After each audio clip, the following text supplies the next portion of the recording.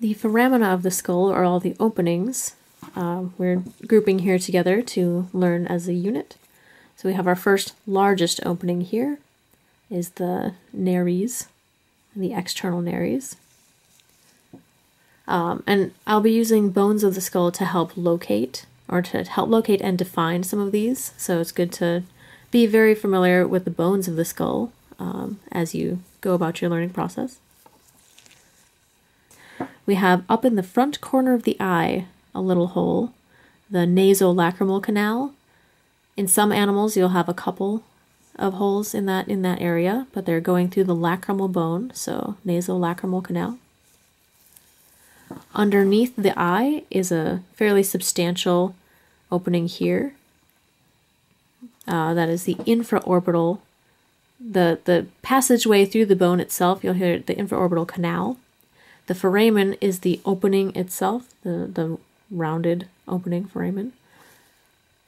And then the canal is this, like think about it as the tube through the bone, is the infra, or, infraorbital canal, below the eye, infraorbital. There's a lot of variation um, in where the maxillary foramen expresses. So we have just on the inside here of that infraorbital canal on the medial side, sometimes it'll be more posterior to it, um, is the maxillary foramen. And that goes through and helps supply the teeth with nerve and blood. At the bottom front side of the orbit, we have the sphenopalatine foramen, which is high, like usually usually larger in a cat and always um, superior to or above. There we go. And then the posterior palatine foramen is this little dude, and it also exits here. So you can see the posterior palatine foramen in between the palatine process of the maxilla and the palatine process of the palatine. So posterior palatine foramen right here. We have the incisive foramina, um, or sometimes they are they are labeled the anterior palatine foramina. So posterior palatine foramen, anterior palatine foramen. Foramina is plural of foramen. Kind of in the center of the orbit, there's a little hole, the ethmoid foramen. There we go. So the ethmoid foramen is a little tiny hole. And remember, the ethmoid bone is within this internal structure Back here, there's a sequence of four foramina, five in a fox, but or in, in canines, but we'll talk about that in a second.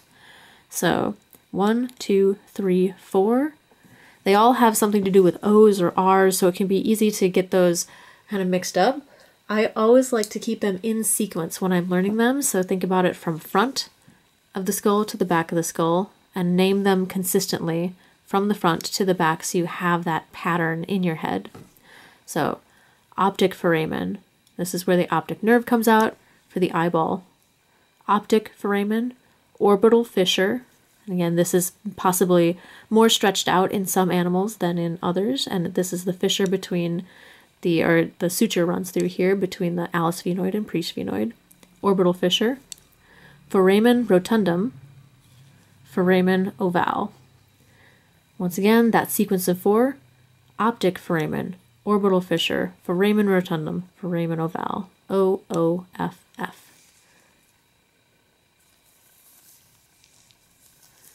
If we turn the skull upside down um, and use your tympanic bulla as, as kind of a landmark, at the front of the tympanic bulla is this passageway here, the eustachian canal.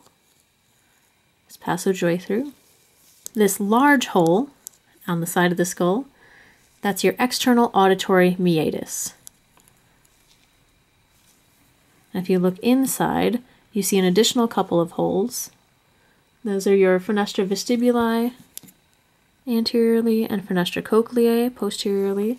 You are not responsible for learning those for this exam. Posterior to your external auditory meatus is your mastoid foramen. A little doodad right here next to your mastoid process. So kind of pair those together. And on the bottom of your skull, underneath or posterior to your tympanic bulla, the jugular foramen here. And then, last but not least, the foramen magnum. This is where the spinal cord exits the brain. Big old, big old thing. The postorbital processes may be more or less pronounced. And in the fox, they're pretty little. Postorbital processes. Uh, just to reiterate, the zygomatic arch is comprised of those two bones, the jugal and the zygomatic process of the temporal.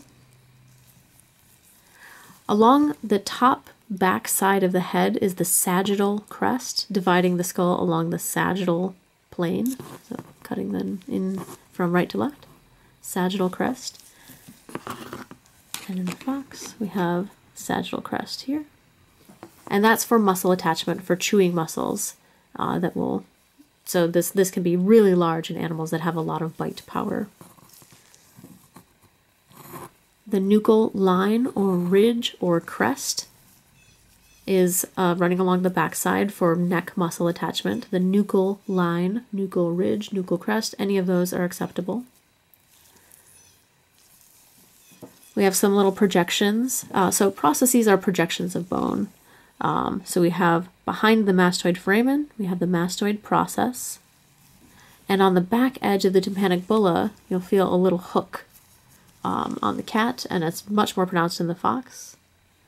We have our paracondylar process, para being around, condylar, condyles process. I know the fox, they're enormous.